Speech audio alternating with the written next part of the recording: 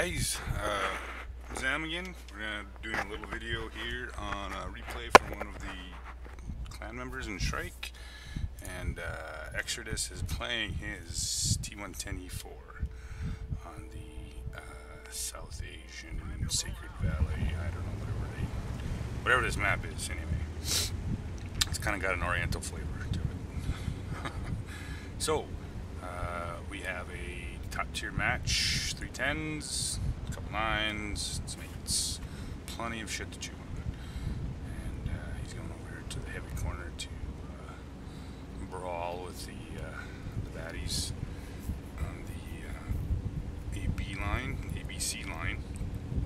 This is actually typically where the heavies,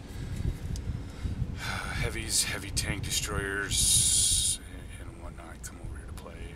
Uh, as I speak, here comes an RU. Uh, yeah, okay. oh, whatever.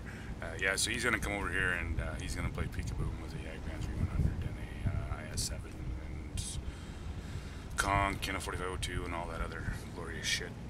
And we'll see how this rolls for him.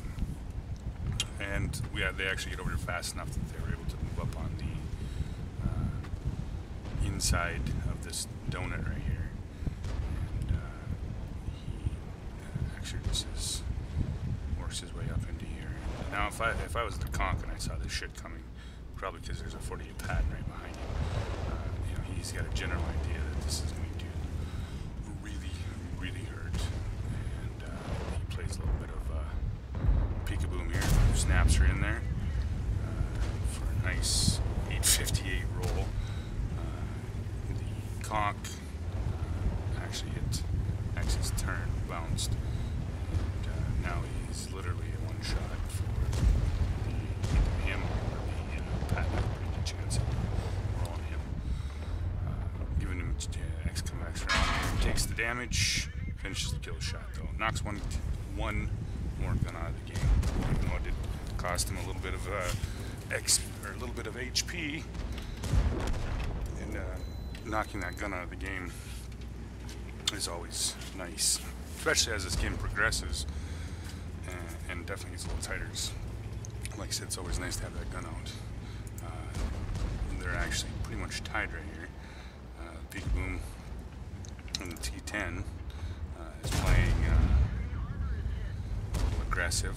Uh, here's X pops around. And apparently, as OP as the defender, it can't quite, quite bounce a shot from an E4. Close. I mean, as uh, is sitting here waiting for a shot, he's actually focusing out what he considers the biggest threat, which is, of course, the Jagdpanzer E100. And, and you'll watch him here. He's going to work this corner here, uh, trying to wait and kind of wait and wait and wait and wait. And he's going to wait for that uh, Jagdpanzer E100 to shoot.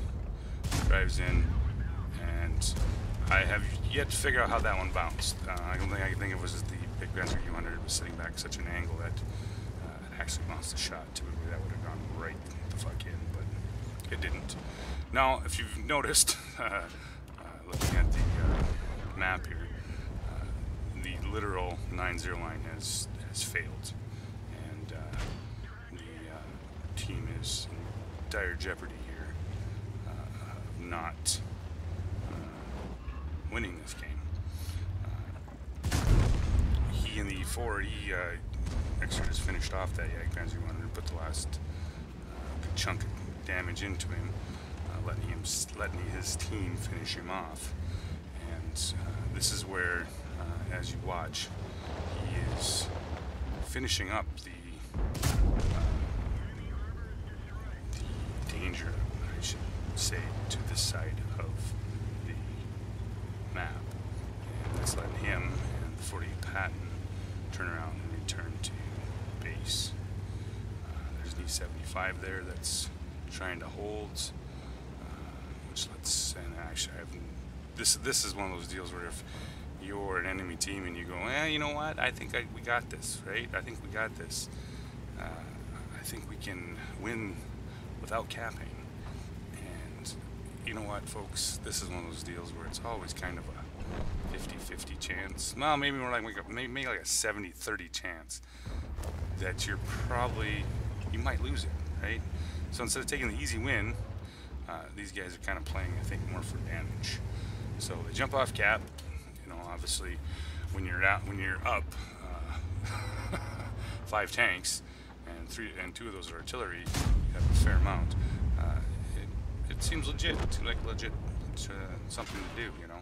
So uh, X's shot on the 50-51 uh, doesn't give him a chance to actually completely missed it. And uh, now he's got an E4 behind him, which thank goodness the IS-3 sees and is actually moving up to do something about it, uh, while X helps this Patton uh, work on this Lorraine and the MX-1390. Uh, that's the nice thing about this, the E4. Uh, it, puts out such a large amount of damage that uh, get into these tier 8s and tier 7s tanks. And when, when this thing hits, uh, you know, whoa, actually he threw for a 591, which is a super low roll, but uh, definitely allows uh, the Patton to finish off uh, that Skoda. So now we're back, and we got an IS-3s faced off against the E4, and uh, the 44 comes over. I think they're gonna. He actually had flanks, but a pretty good idea letting him have a, giving him a chance here, at least the IS-3, to uh, survive. And, uh, but unfortunately, uh, being where he's at, and uh, yeah, there, there, there's not a whole lot for these guys to do to try to save him. But uh, with that little bit of exchange right there, these two tens, Exordis and the Destroyer, have actually brought the game back.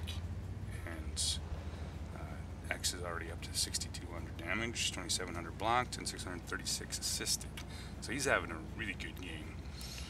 And uh, so is, I think, as, I'm not sure what the 48 Patton ended up doing, but between the two of them, they have nine kills. So yes, they did carry this game. They uh, they played these two tens as about as well as you could in, in the situation they were put into And uh, definitely, definitely, in my opinion, carried this game to uh, which should be rightfully a, a, win. Now, at this point, uh, there is a there was be a small chance, I guess you could say, that you uh, they could have lost this uh, at the MX 1390 if he would have been uh, smart. He would have made a run for the cap and, and gave it at least a go of possibly pulling the these two guys back to the back to the cap and let Artie work on him. Uh, but he uh, took off and ran. Uh, I'm sure he's probably trying to reload here and maybe make uh, at least maybe make a go of uh, trying to win this game. X fin finishes off their artillery, uh, puts him at six kills, and Destroyer at four.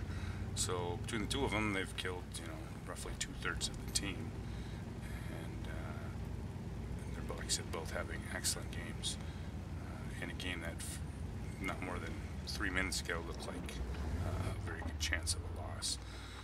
So, there's the MX 1390. Uh, like I said, he, he did have probably one chance to pull this off, but uh, thank goodness he decided to flub it and uh, instead go on to uh, try to do a little bit of damage. And, and, you know, these two guys played excellent. And, you know, it was, it was, it was a very good game to watch. So X finishes off the last guy. Between the two of them, they end up with 13 kills.